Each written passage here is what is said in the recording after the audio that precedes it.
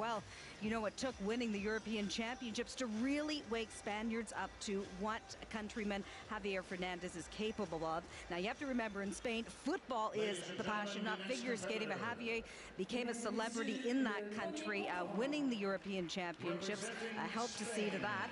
And as we said, the 21-year-old is certainly one of the favorites to win this men's title in 2013. And it's going to be about skating clean in the men's short program. We've talked about Patrick and Hanyu. There's Daisuke Takahashi. Oh, so if you make a mistake, Kurt, the door opens for many other skaters. The buzz in the skating world is the men's event at Worlds. Choreographed by David Wilson, music from the soundtrack of The Mask of Zorro.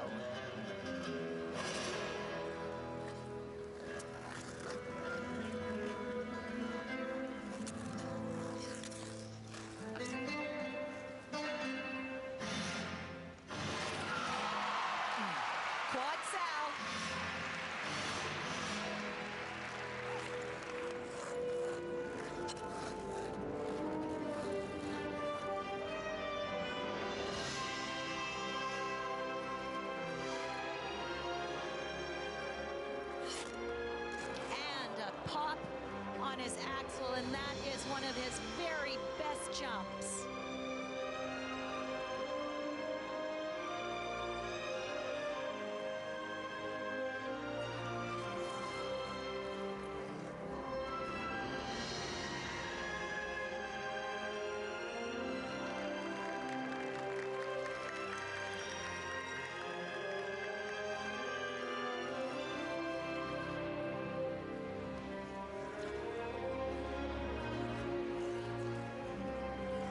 The axel, one of his best jumps. This one of his most difficult for him. It's the triple Lutz. Has to be done in combination. Triple Lutz, triple toe, and what a mind he has. That's his best triple triple I've seen him do in com competition this year.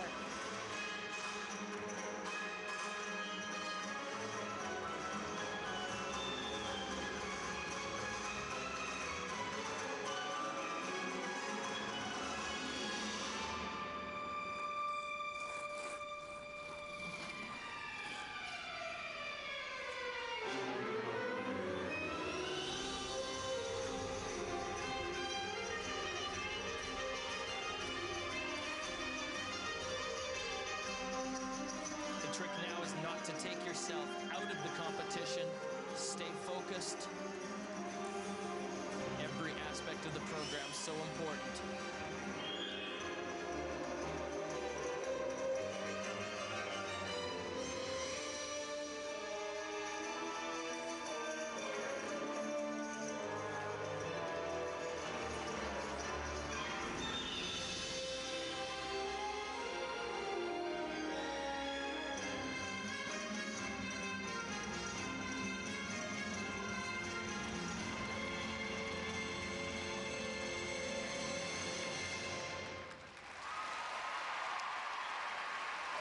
Well, he's lived and trained in Toronto for the past couple of years, says he can always feel the love of the Canadian audience, and there's plenty of love here in London tonight for Javier Fernandez.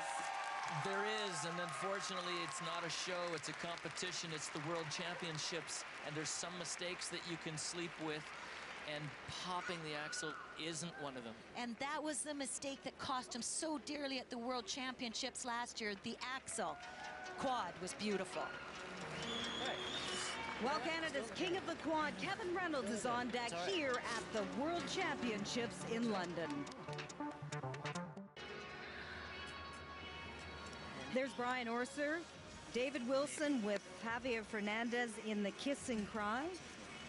Well, if this skate was bittersweet, that was the sweet part. Quads out. So he looked smooth. down in the knee. He looked into the music. The timing and the music was perfect going into this. The edge, the quality, and then too much right arm. It's the only thing I can guess. Yeah, just didn't trust it. That doubt crept in. He can do that in his sleep. He needs to cle be close to the 80 range. As Brian says, 80, that's all right.